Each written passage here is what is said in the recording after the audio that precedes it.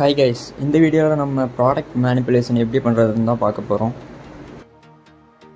ஏற்கனவே ஒரு product manipulation video போட்டிருக்கோம். ப்ளேலிஸ்ட்டில் செக் பண்ணி பாருங்கள் ஓகே வாங்க வீடியோக்குள்ளே போகலாம் ஃபர்ஸ்ட் ஆஃப் ஆல் நம்ம ப்ராடக்ட் ரிலேட்டடாக ஒரு பேக்ரவுண்ட் கலர்ஸ் செட் பண்ணிக்கலாம். அப்புறமா பேக்ரவுண்டை செலக்ட் பண்ணி ஃபில்டரில் போய் பிளர் கொடுத்து அது கேசியன் பிளரில் டூ டு ஃபைவ் வரைக்கும் வச்சுக்கலாம். அப்புறமா ப்ராடக்ட்ஸ் ஸ்டாண்டுக்கு நம்ம ராக் செட் பண்ணிக்கலாம்.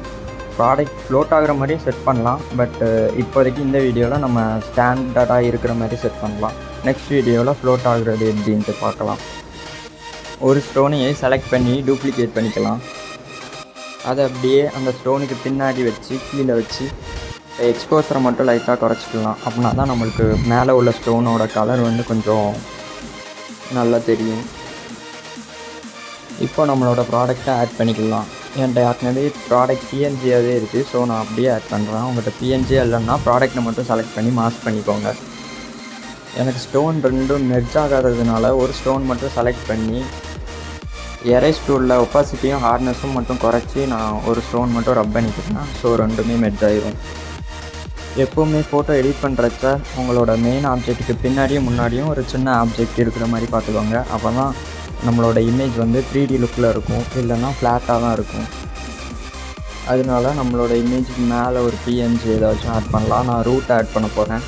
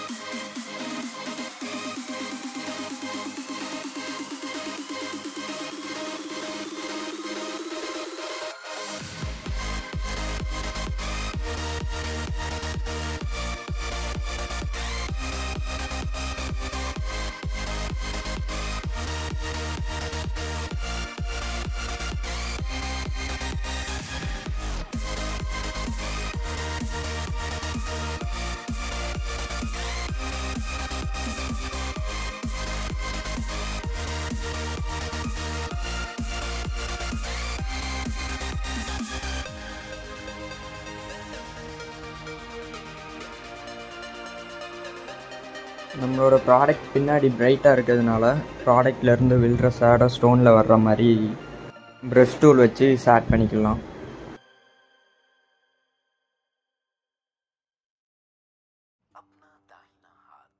அப்புறமா ஸ்டோனோட எட்ஜ்லேயும் கொஞ்சம் பிரைட்னஸ் ஆட் பண்ணிக்கலாம்.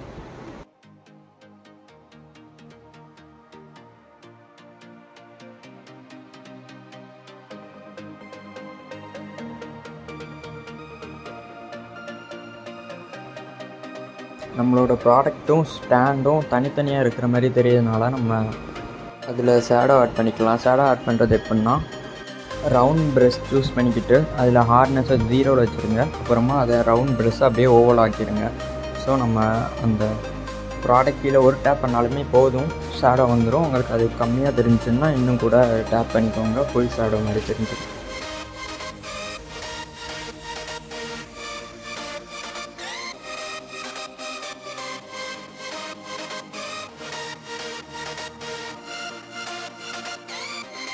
ஏற்கனவே நம்ம ப்ராடக்ட் பின்னாடி இமேஜ் ஆட் பண்ணியாச்சு. இப்போ ப்ராடக்ட்க்கு முன்னாடியும் இமேஜ் ஆட் பண்ணிக்கலாம். அப்படின்னா தான் நம்மளோட ப்ராடக்ட் வந்து த்ரீ டி லுக்கில் கிடைக்கும்.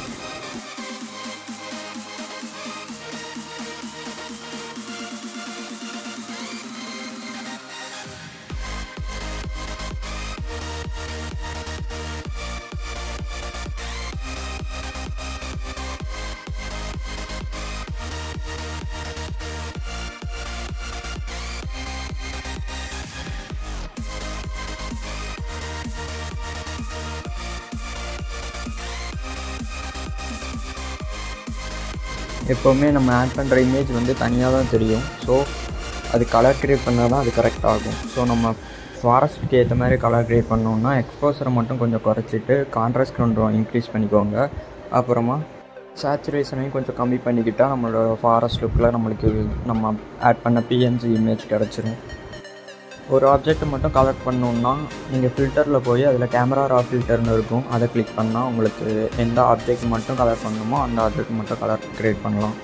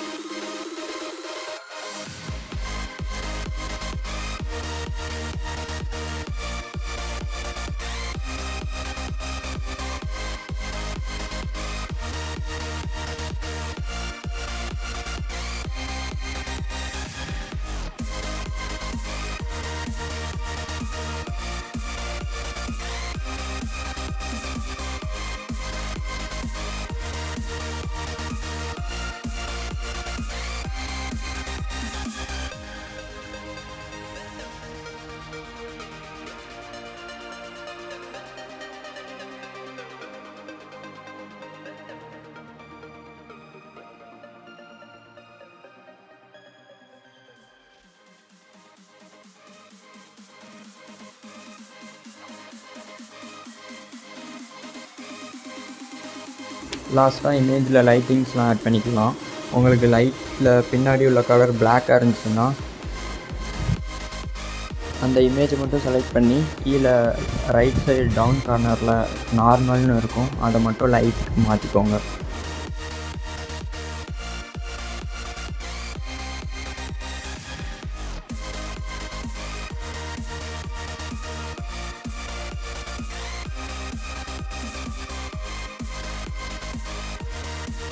ஓகே காய்ஸ் இன்றைக்கி வீடியோ அவ்வளோதான் உங்களுக்கு வீடியோ பிடிச்சிருந்துச்சுன்னா லைக் ஷேர் கமெண்ட் பண்ணுங்கள் எதுவும் டவுட் இருந்தாலும் கமெண்ட் பண்ணுங்கள் நாங்கள் உடனே ரிப்ளை பண்ணுறோம் ஓகே தேங்க்யூ